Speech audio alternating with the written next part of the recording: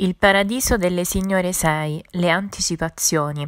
Anna Imbriani ha intenzione di accettare la proposta di Vittorio, ovvero di lasciare il suo lavoro al circolo e di iniziare a lavorare per il paradiso delle signore, questa volta però non nel ruolo di commessa, ma di aiutante di Beatrice.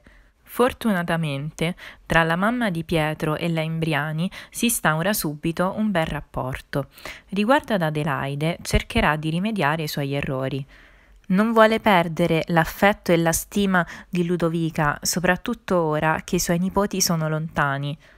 Per questa ragione, quando Parri sarà costretto a lasciare il lavoro a causa di problemi personali, la contessa proporrà a Marcello di sostituire Parri.